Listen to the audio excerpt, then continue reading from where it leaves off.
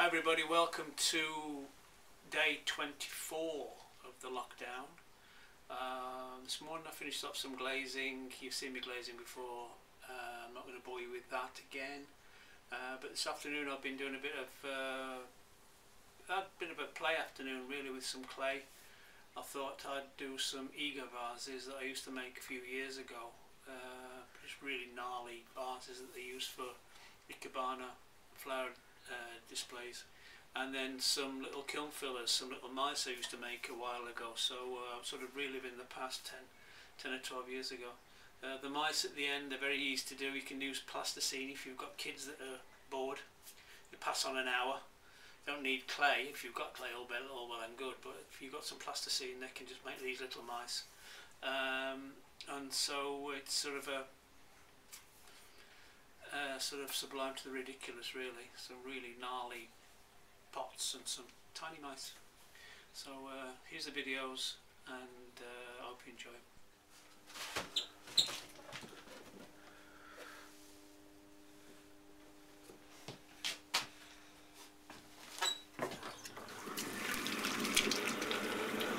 Okay, this uh, this is a bit of an experimental day today.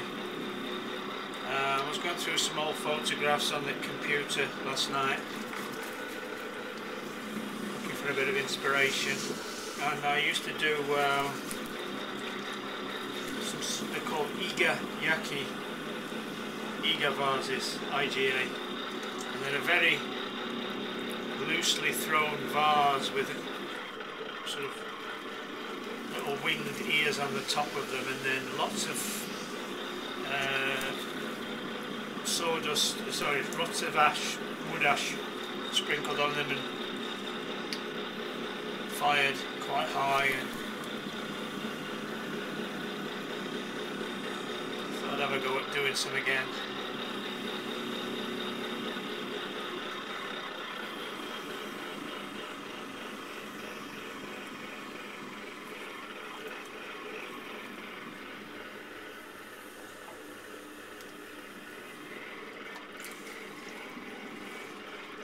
Trying to get a bit of sort of uh, looseness in the throwing of it.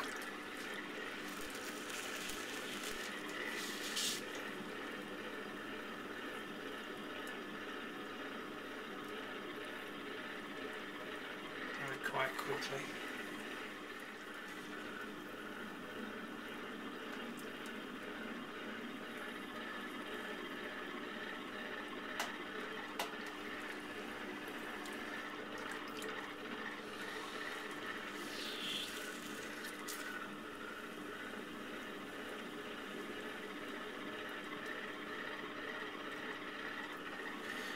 A shoulder.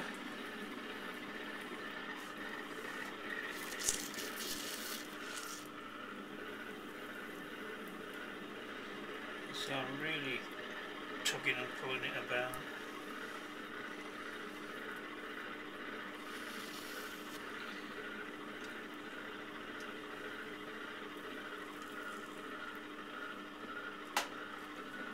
Close it up.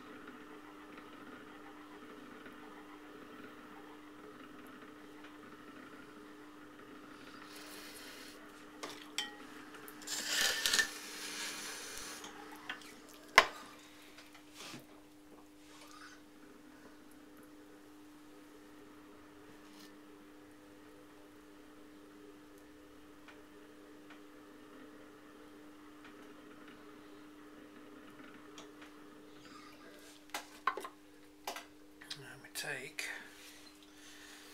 a little bit of extra clay. Uh, we take a little bit of extra clay.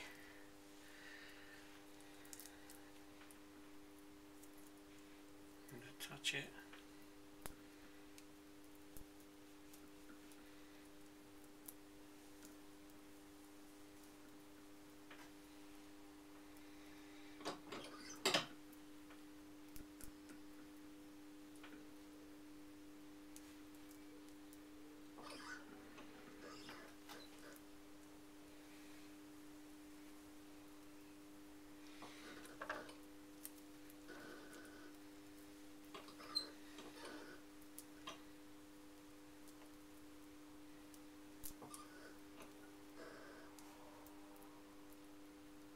all these sort of rough areas and rough rough surfaces are really good at sort of catching the wood ash.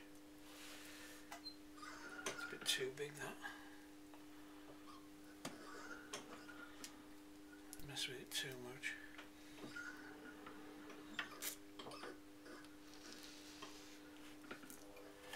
And then what I'm going to do now, which I've never done before, some of this slip on. Out the throwing bowl and then what I've got here is um, it's what's I've, I've just sieved a load of wood ash out the wood burner. And this is what's left. It's a sort of carbonated sort of rough stuff. And there's all sorts of staples. And I'm just going to rub all this in it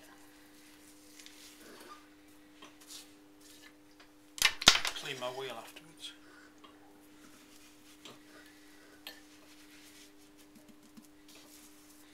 I have no idea what this is going to do. no idea at all. Might be a complete waste of time. But you don't get interesting stuff done without experimenting. I'm even going to take some of the staples out of the wood and press them into it just to see what happens.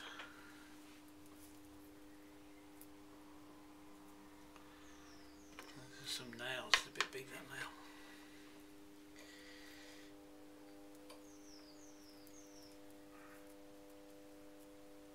Press all these lumps in.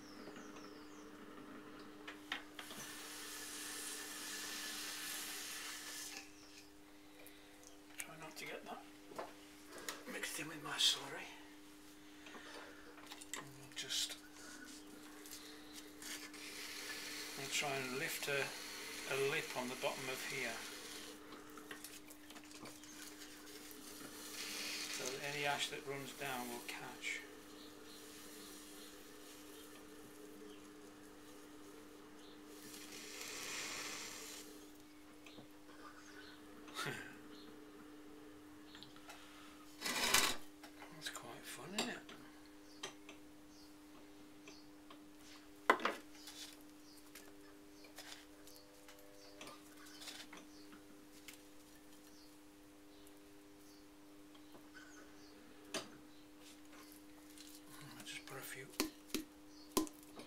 In it.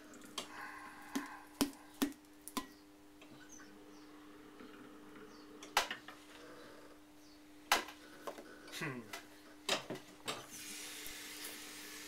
We take pottery too seriously at times, don't we? Well, some people do. Right, let's lift that off. Find, it, find a wire.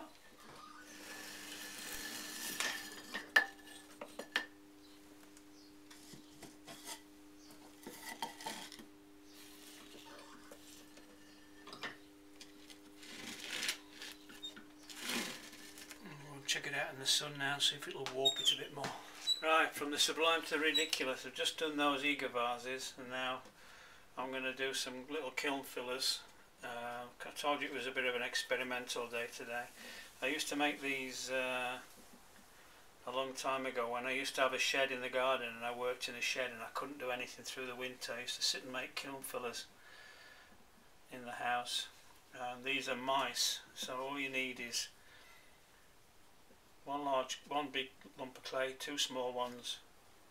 You place them on there where the ears are going to go and then just a question of pressing down.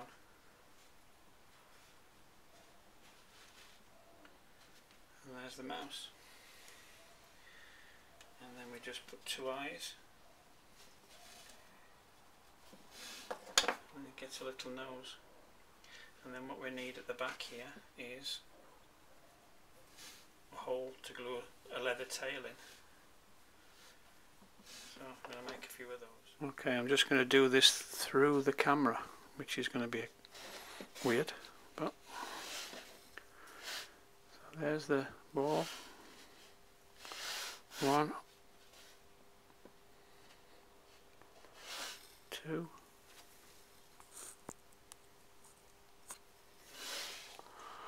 Let me just press.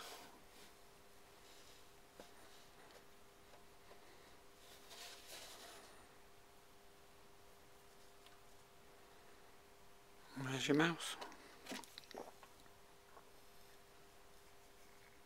One eye, two eyes, and a hole for the tail.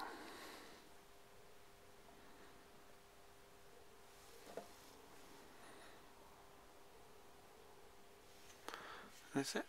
Right, that's today's uh, edition of the diary. Um, just going to go back out now, sit in the sun. Um, hope you're all doing well. I hope you're all uh, staying to the social distancing. If you're bored, make a comment. If you're extra bored, make a video. Anyone can do it. Okay, see you soon.